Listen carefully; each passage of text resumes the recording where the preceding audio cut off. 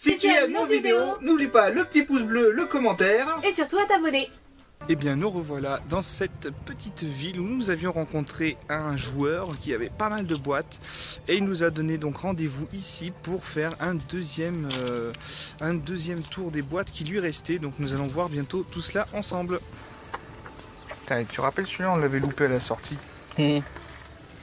J'ai le jeu, l'écharpe, mais j'ai pas cette boîte. Voilà. Ah oui Comment Ouais. ça se fait Ah, vous l'avez deux Bah, en fait, non, je voulais absolument ce collector et du coup, euh, comment Alors, dire Il a acheté le jeu. J'ai acheté le jeu tout seul moi, parce que je le voulais et elle me l'a offert l'écharpe parce que je lui ai dit ah j'aurais bien aimé avoir le collector et tout et on, on le retrouvait plus euh, à Carrefour. Bah oui, C'était sûr. déjà fini quoi. Hum, À l'intérieur de chaque boîte, euh, Ouais. il y a euh, des boîtes Game Boy Color, Game Boy Advance. À chaque euh, fois dans Game chaque Boy- boîte Ouais, ouais, ouais. Non. Environ 27 dans chaque. Non. si, si.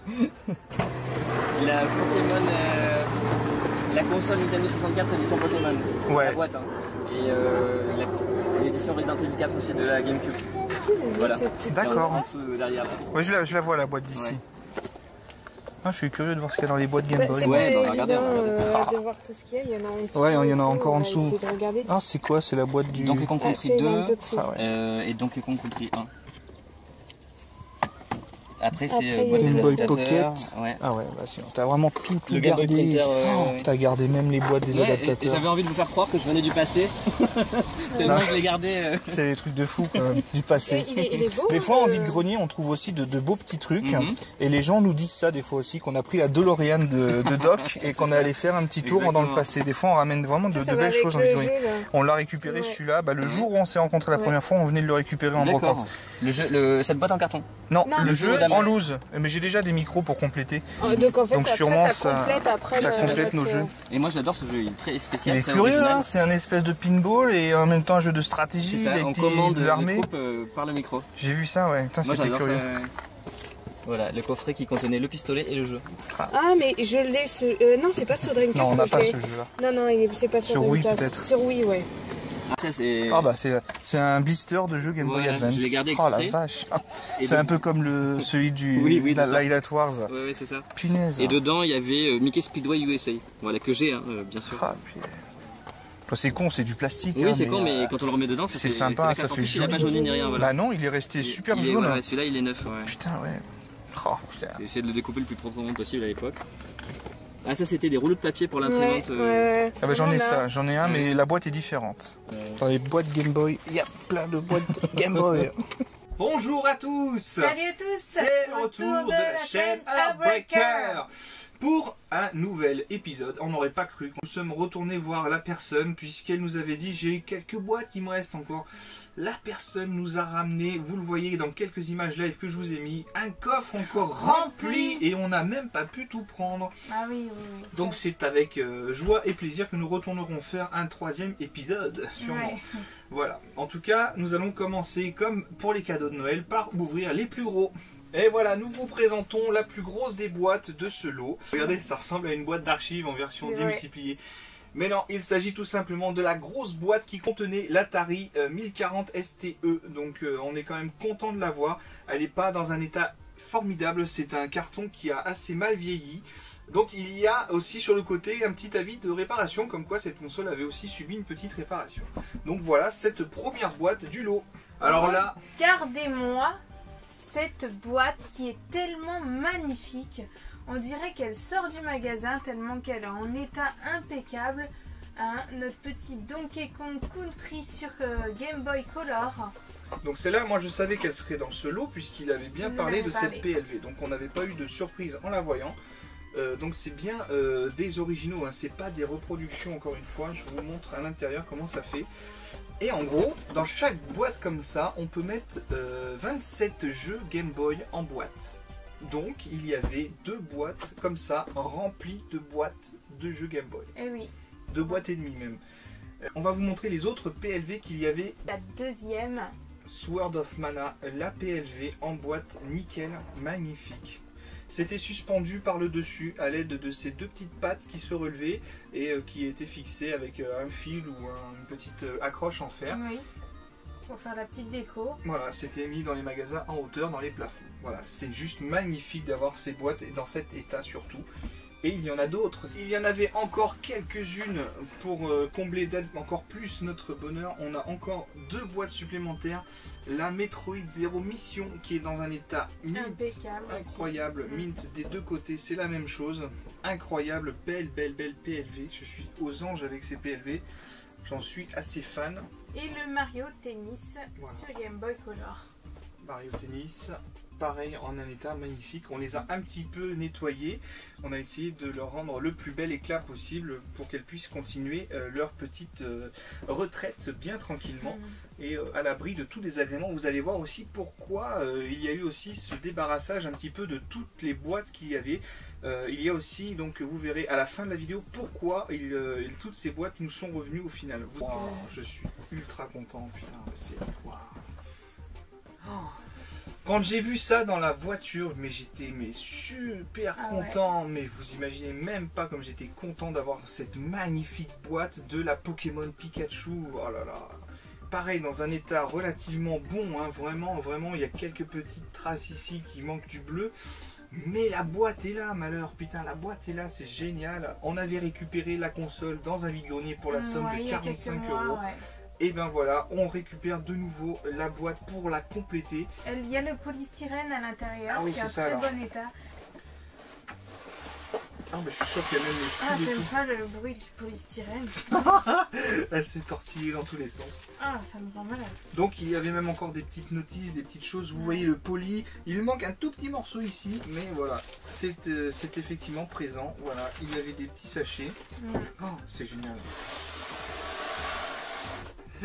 le bruit. Ça se contorsionne dans tous les sens comme un verre de thé. Hop là Donc, alors là, vraiment très content de cette boîte. Vous imaginez même pas, encore une fois, comme je suis content.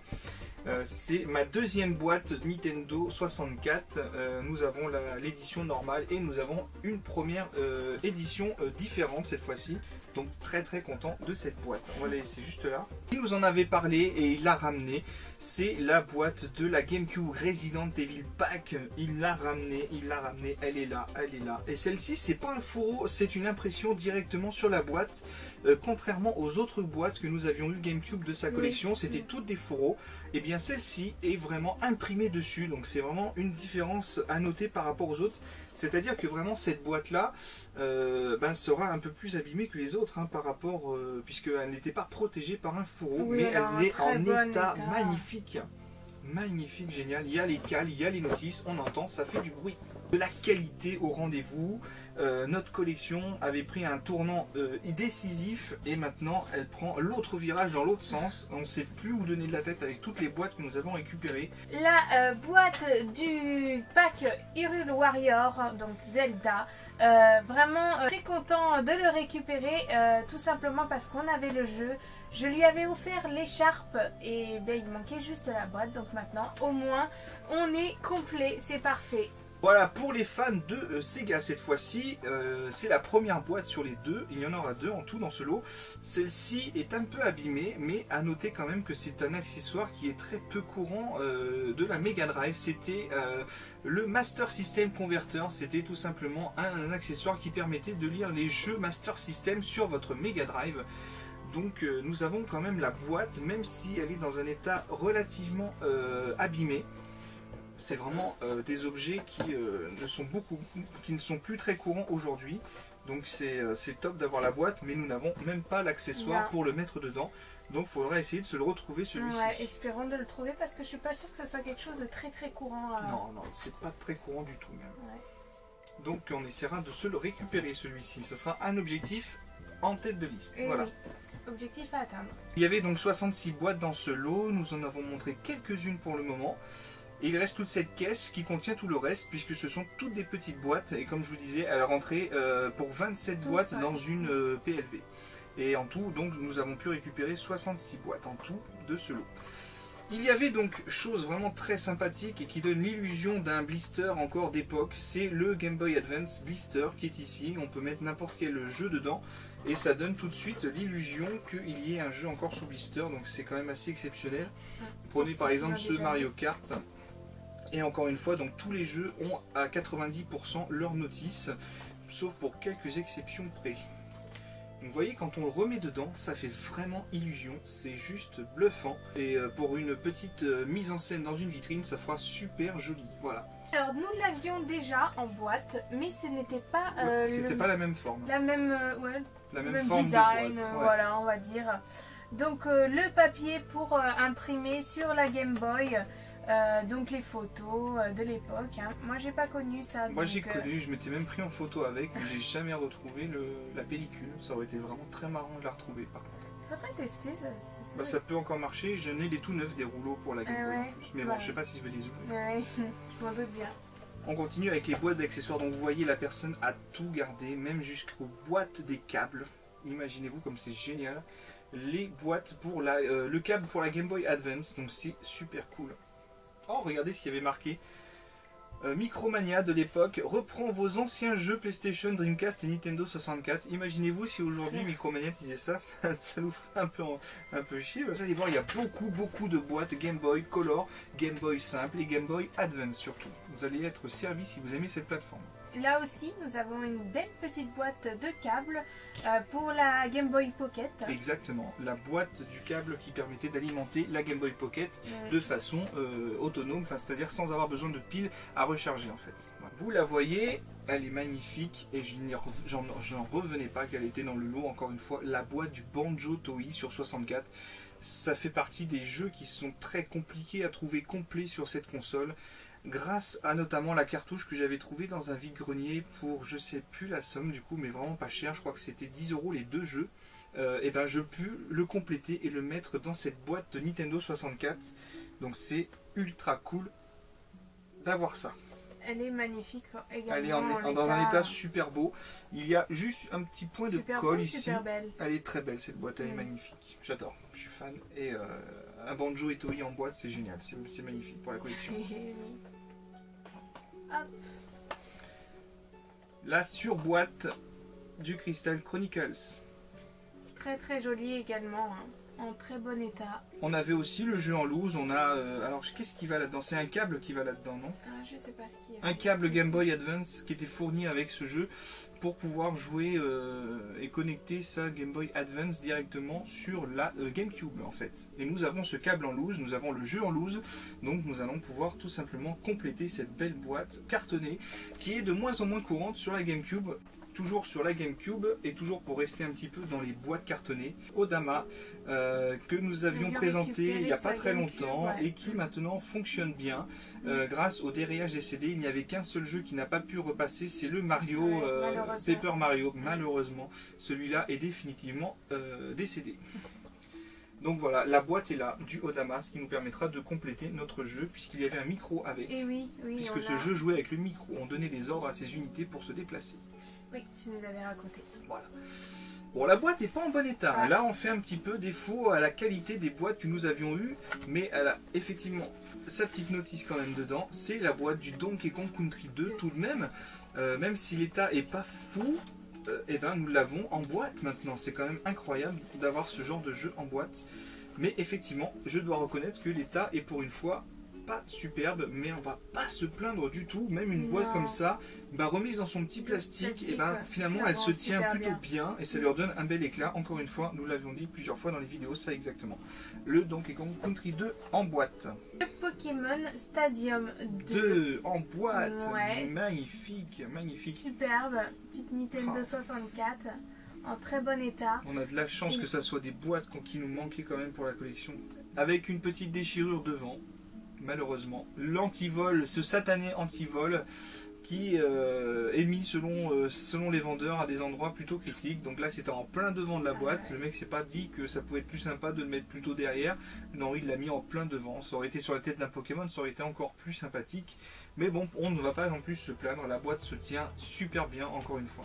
Mis à part ces déchirures. Nous avons la boîte du Donkey Kong Country version Nintendo classique. Et oui, c'était déjà l'époque des Nintendo classiques, des Nintendo Select. Avec la Super Nintendo, avec cette, cette jaquette toute rouge qui donnait vraiment euh, moins envie que l'original, tout en noir, qui était beaucoup plus sympathique. C'est pour flasher. Hein. Voilà, c'était Mm. pour dire, voilà, on a bien vendu ce jeu, et puis regardez, il est moins cher grâce au Nintendo classique. La boîte de la fameuse imprimante Game Boy. Regardez-moi ça comme c'est magnifique d'avoir des boîtes comme ça qui euh, racontent l'histoire de euh, du marketing aussi de comment était présenté un objet à l'époque euh, pour vendre le Game Boy Printer. Et bien voilà on avait la petite euh, la petite étiquette encore du magasin qui est encore présente. Des petits euh, catalogues notamment sur les jeux. Le PlayStation Magazine enfin c'est un petit un petit bouquin qui recensait quelques sorties de jeux. Il y avait aussi les petits bouquins de Strata Games. Il y avait longtemps que j'avais pas entendu parler de cette enseigne. Et bien nous avons les petits bouquins d'époque qui viennent nous retomber dans les mains. Et là, on va passer donc sur les Ouh. boîtes euh, Game Boy Color. Il y a énormément de boîtes Game Boy en état Ouais. mint pour certaines. Le Prince, Prince of Persia est dans le lot. Le Donkey Kong Country euh, 3. Un de mes jeux préférés sur cette console, la Game Boy Color, le Tetris DX. Moi je suis grand grand fan de tous ces petits jeux. Quand vous êtes dans l'avion ou en voyage, ça vous occupe largement et c'est génial pour notamment les petits euh, périples que nous avons fait, ça nous a bien servi. Le Street Fighter Alpha 3, euh, qui a lui une, boîte particulière en fait, c'est sûrement euh, par rapport à la, Ni- à la Game Boy Advance. Certaines boîtes de la Game Boy Advance étaient dans un carton un peu plus souple et euh, beaucoup plus brillant que les autres. Euh, donc j'ai pu m'apercevoir que sur beaucoup de boîtes Game Boy Advance c'était ça, pas toutes hein, de la Game Boy Advance, mais certaines comme ça étaient euh, donc refaites. Alors je sais pas si c'est euh, un gain sur la matière première de la boîte de l'époque, je ne sais pas, mais en tout cas voilà, je la trouve beaucoup plus fine et de plutôt. Alors c'est plus joli, c'est plus brillant, mais c'est plus fragile. Le Mario Tennis sur Game Boy Color. On avait la grosse PLV et puis oui, nous avons oui, oui. maintenant la boîte de ce jeu, c'est génial. Le WarioWare Incorporation, voilà, la boîte est là avec la notice dedans. On sent que c'est bien lourd. La boîte en état, encore une fois, euh, super Ouais, euh, mint. Euh, Mega Games, euh, Mini Games Mania, plein de petits jeux dedans, plus de 200 jeux dans celui-là. Autant vous dire qu'il y a beaucoup de jeux Game Boy en loose qui vont trouver preneur avec ces boîtes, euh, puisque ça nous permet d'en compléter une bonne majorité de ceux que nous avons. Le euh, Super Mario Ball, euh, donc sur Advance. Ouais. Alors le Yoshi Universal Gravitation était ici également dans le lot. Pareil, des états mais fou fou fou. Elle est magnifique cette boîte. Je, je trouve que le Aussi donne que les premières que nous avions eues. Quoi. Le Mhm. Mario et Luigi, on en Mhm. retrouve des états pour certains, c'est fou. Ça a été ouvert une fois, refermé une fois. Voilà. Ouais, c'est ça. C'est fou, hein, c'est extraordinaire. Alors sur Game Boy Advance, le Mario Golf. Euh, le Super Monkey Ball Junior était aussi là. La boîte est pareil, nickel. Il y a quand même un énorme autocollant avec les lentivol d'époque qui est encore dessus. Ah oui. Mais cette fois-ci à l'arrière, au moins plus, plus malin déjà. Mm. Là je suis content pour celui-ci. Ça c'est Oui. un de mes jeux préférés ça. Le Super Mario World. De la série Super Mario Advance 2 en fait. Ça reprenait tous les classiques de euh, la console sur euh, portable en fait. Donc c'était génial sur les petites consoles portables. État mint, état magnifique, Magnifique. état fou. Le Mario Power Tennis sur Game Boy Advance. le Super Mario Advance, donc le Super Mario Bros 2 et Mario Bros. Euh, euh, ouais, donc ça c'est pareil, c'est les remakes sur les petites euh, consoles portables. Pareil, la boîte en un état magnifique. Le Yoshi Island sur Advance. Yes, état pareil. Ouais, on, très très très on va pas le répéter à chaque fois, Non. mais c'est vrai que c'est c'est plutôt magnifique. Euh, ce Pinball of the Dead, un peu marrant, mais c'est le flipper de House of the Dead sur la Game Boy. Euh, on n'a même pas le jeu en, version euh, loose, donc on a au moins déjà la boîte. Ouais, ouais, ouais. J'aime bien ce jeu. Enfin, pas le pinball, mais le jeu. Le Donkey Kong Country 2 est encore une fois présent, donc, mais en version Game Boy, donc ça fait hyper plaisir. Voilà. Le Super Mario 3 sur Advance. C'est cool ça, c'est, euh, ouais, je suis très content parce que c'est des, c'est des boîtes, on n'aurait jamais pensé les récupérer, hein, comme par exemple celle-ci. Euh, J'avais un pote qui l'avait et puis euh, comme il collectionnait pas, j'ai essayé de l'avoir, il l'a jamais voulu, bon bah tant pis. Euh, et puis là je la récupère sans même be- avoir besoin de passer par lui, le Castlevania sur Game Boy Advance, ça fait ultra plaisir de la récupérer. Le F0 sur Advance. Maximum Velocity avec un petit peu de colle, c'est pas très gênant. Le Crash Bandicoot XS est ici. Regardez-moi ça, une belle belle illustration pour ce Crash Bandicoot. Le Banjo Pilote. Ouais, alors celui-là, je connaissais même pas son existence en loose, donc euh, on le Il récupère doit pas avoir la notice, il est trop léger. Ouais, il, il- il est peut-être juste en, avec la cale celui-ci. Mm. Euh, Le Wario Land Wario Land 4, 4, euh, c'est peut-être l'un des seuls jeux que j'avais en double dans ce lot. Je m'en suis aperçu qu'après, mais en même temps, l'état de celui-ci dépasse largement ouais. celui que nous avons, donc c'est parfait pour un échange standard. Ça doit être, à mon avis, le seul double du lot. Le Metroid Zero Mission, vous avez pu voir la PLV, nous avons également la boîte du jeu et il est complet. Il y a aussi la notice dedans. Donc vraiment, euh, je sais que c'est de très très bons jeux sur les Game Boy Advance, c'est Metroid. Et nous avons la chance d'avoir également une deuxième boîte, c'est le Metroid Fusion sur la Game Boy Advance. Des états toujours aussi magnifiques les uns que les autres. C'est top, top, top. Voilà, elles sont là, ces boîtes, elles sont magnifiques. Game Watch Gallery Advance, 6 jeux en un. Donc ça c'est pareil, j'ai pas encore essayé, mais euh, c'est un peu les petites compilations bah, des Game Watch qui sont soit au choix euh, remis aux versions euh, en version d'origine, donc c'est-à-dire que vous avez vraiment comme l'écran de la Game Watch d'époque, et vous avez aussi le choix de les avoir avec un petit peu plus de, graphisme présent dessus. Donc c'est c'est quand même assez bien foutu ces petites compilations, ça c'est vraiment très sympathique. Si vous n'avez pas de quoi vous payer des Game Watch, bah, vous avez toujours ça. Le Final Fantasy euh, Tactics. Tactics Advance. Ouais, Il y a la notice dans celui-ci et nous l'avions récupéré dans un vide-grenier il n'y a pas si longtemps que ça. c'est vrai, tout à fait. Le Donkey Kong Country 1 est ici, encore une fois, des états magnifiques, magnifiques, magnifiques, magnifiques. Mario, euh, Versus Donkey Kong. ouais. Mario contre Donkey Kong. Ouais, boîte Yes. nickel, c'est cool. Deux petites particularités, en voilà une et en voilà une deuxième. Ces boîtes sont un petit peu plus grosses que les boîtes Game Boy, puisqu'en fait elles contenaient des jeux qui sont un petit peu plus épais, qui contenaient la batterie pour pouvoir les faire vibrer en fait. Elles sont euh, de pas grand chose grosses et plus épaisses que des boîtes Game Boy. Voilà, pour vous montrer la différence. Mais c'est pas pour rien, c'est parce qu'elles contenaient des cartouches un petit peu plus épaisses. Voilà. Le Perfect Dark et le Pokémon Pinball, bien entendu. Game Boy Color. Hop là, super magnifique aussi. On avait récupéré la PLV de celle-ci Oui. dans le lot d'avant. Le Wario Land 2.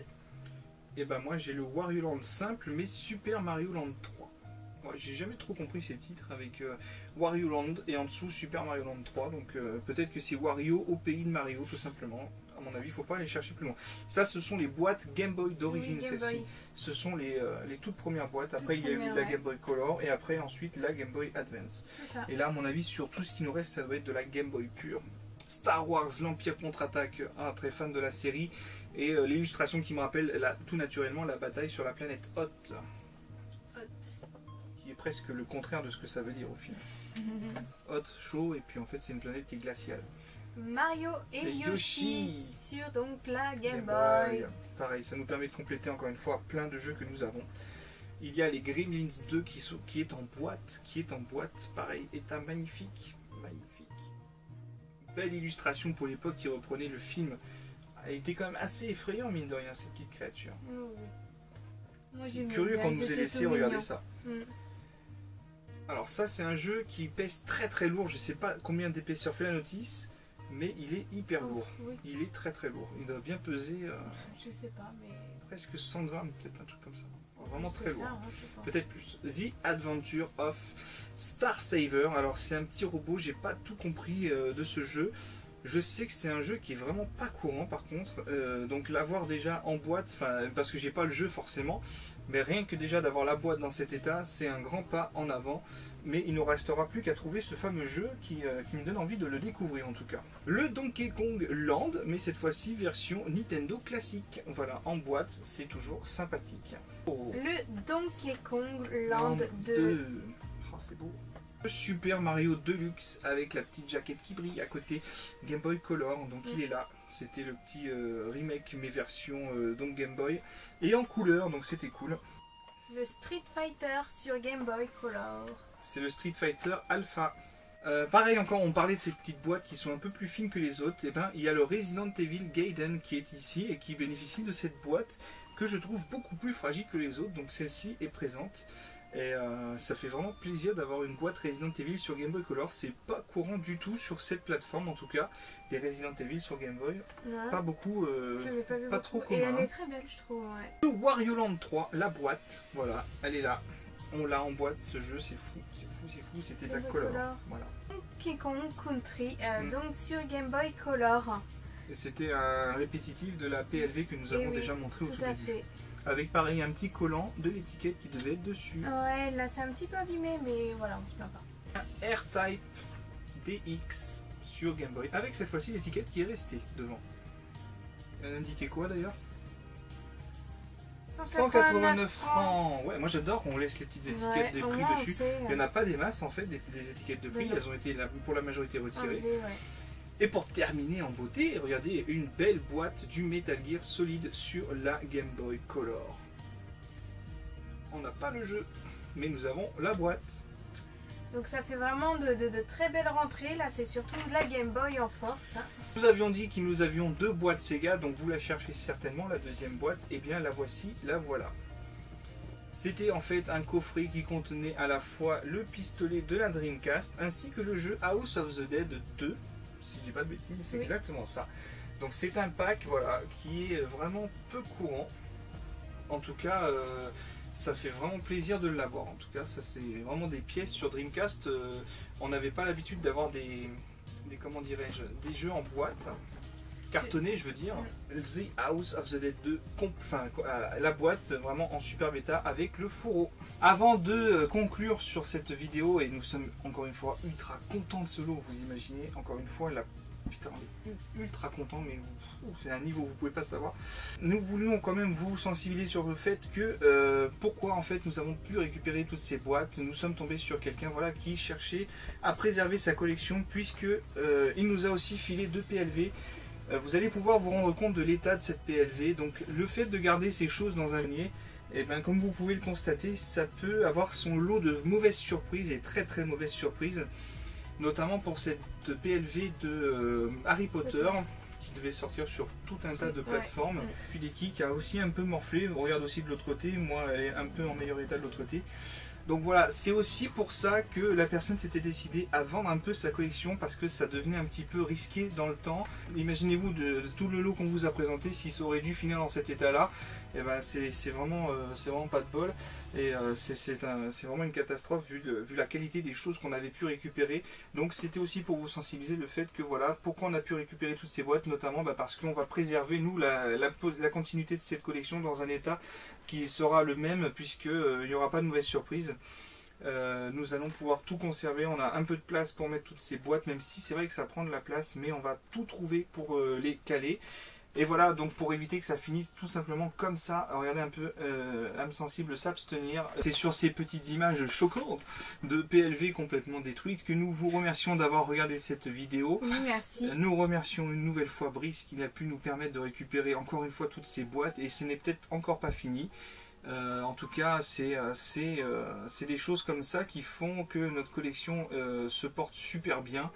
Euh, on est ravis à chaque fois de toutes les trouvailles qu'on peut faire. Alors c'est vrai que moi sur le coup, euh, les vides-greniers, je me foutais un petit peu de savoir ce que j'allais trouver ce week-end puisque je savais forcément que j'allais récupérer d'autres boîtes et ça me faisait super plaisir. J'ai attendu ce moment comme un petit enfant aurait attendu le Père Noël tout simplement. Donc j'ai été émerveillé de voir une nouvelle fois tout ce qui nous attendait dans ce coffre. Et euh, on est conscient aussi que ça ne nous arrivera pas forcément par la suite, donc on profite de chaque instant, de moments que nous passons avec pour euh, vraiment en prendre plein les yeux et on va pouvoir euh, observer ces objets magnifiques sous toutes les coutures et on espère que cette vidéo vous aura plu. On vous remercie en tout cas de nous avoir regardés. On espère que ça vous a fait autant plaisir qu'à nous. Et on vous dit à très bientôt. À très bientôt, ciao ciao.